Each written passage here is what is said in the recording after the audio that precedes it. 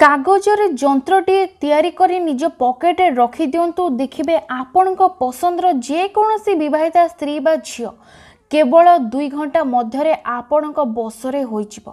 ହଁ ଫ୍ରେଣ୍ଡସ୍ ଯଦି ଆପଣ ଅନେକ ପ୍ରକାରର ବଶୀକରଣ କରି କରି ଥକିଗଲେଣି ଆଉ ସଫଳ ହୋଇପାରୁନାହାନ୍ତି ତେବେ ଆଜି ମୁଁ ଆପଣଙ୍କୁ ଏମିତି ଏକ ଚମତ୍କାରୀ ବଶୀକରଣ ଟୋଟକା ବତେଇବି ଯାହାର ପ୍ରୟୋଗରେ କେବଳ ଦୁଇ ଘଣ୍ଟାରେ ଆପଣ ରେଜଲ୍ଟ ପାଇବେ।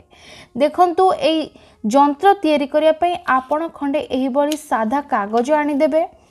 ତାପରେ କ'ଣ କରିବେ? ଦେଖନ୍ତୁ ପ୍ରଥମେ ଆପଣ ଏହି କାଗଜ ଉପରେ ସେହି ସ୍ତ୍ରୀ ବା ଝିଅର ନାଁଟି ଲେଖିଦେବେ ଯାହାକୁ ଆପଣ ବଶୀଭୂତ କରିବାକୁ ଚାହୁଁଛନ୍ତି। ମନେକର ତା ନାଁ ହେଉଛି ରୁବି। ରୁବି ଲେଖିବେ ତାପରେ ଆପଣ ଏଇଠି ଟିକେ ଛାଡ଼ିକି ନିଜର ନାଁ ଲେଖିବେ। ମନେକର ଆପଣଙ୍କ ନାଁ ହେଉଛି ଚିକୁ। ଏତିକି ଲେଖି ସାରିଲା ପରେ ଆପଣ ଏଇ ତଳେ ଛୋଟିଆ ସ୍ୱସ୍ତିକଟିଏ ଆଙ୍କିଦେବେ। ଦେଖନ୍ତୁ ତାପରେ ମୁଁ ଆପଣଙ୍କୁ ବଶୀକରଣ କରିବା ପାଇଁ ଗୋଟିଏ ମନ୍ତ୍ର ବତେଇବି ସେ ମନ୍ତ୍ରଟିକୁ ତଳେ ଲେଖିଦେବେ ମନ୍ତ୍ରଟି ଏହିପରି ଓମ୍ ସର୍ବଦେବ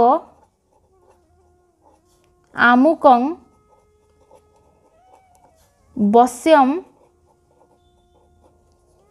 কুরু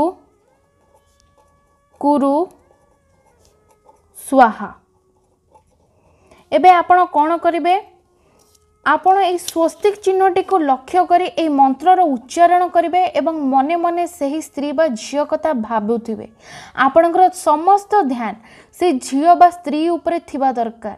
ବର୍ତ୍ତମାନ ଦେଖନ୍ତୁ ଆପଣ ସ୍ୱସ୍ତିକକୁ ଏକ ଲୟରେ ଅନେଇବେ। ମନ୍ତ୍ର ଉଚ୍ଚାରଣ କରିବେ ଓମ୍ ସର୍ବଦେବ ଆମୁକଂ ବସ୍ୟମ କୁରୁ କୁରୁ ସ୍ୱାହା। ଏଠାରେ ଆମୁକଂ ଜାଗାରେ ଆପଣ ସେହି ସ୍ତ୍ରୀ ବା ଝିଅର ନାଁଟି ଉଚ୍ଚାରଣ କରିଦେବେ ଯାହାକୁ ବଶୀଭୂତ କରିବାକୁ ଚାହୁଁଛନ୍ତି ବା ଯାହା ପାଇଁ ଆପଣ ଏ ବିଧିଟି କରୁଛନ୍ତି। ଏହିପରି ଲଗାତାର ମନ୍ତ୍ରର ଟୋଟାଲ ଏଗାର ଥର ଉଚ୍ଚାରଣ କରିବା ପରେ କାଗଜଟିକୁ ମୋଡ଼ିଦେବେ ଏବଂ ନିଜ ପକେଟରେ ରଖିବେ। ଦୁଇ ଘଣ୍ଟା ପର୍ଯ୍ୟନ୍ତ ଆପଣ ଏହାକୁ ନିଜ ପକେଟରୁ ବାହାର କରିବେ ନାହିଁ କିମ୍ବା ଛୁଇଁବେ ନାହିଁ।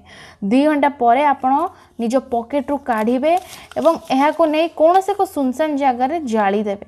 ବସ୍ ଏତିକି କରନ୍ତୁ ଦେଖିବେ ସେ ସ୍ତ୍ରୀ ବା ଝିଅ ଏପରି ଆପଣଙ୍କ ଆଡ଼କୁ ଆକର୍ଷିତ ହେବ ଯେ ଆପଣଙ୍କ ବିନା ପାଞ୍ଚ ମିନିଟ୍ ମଧ୍ୟ ଅଲଗା ରହିପାରିବ ନାହିଁ।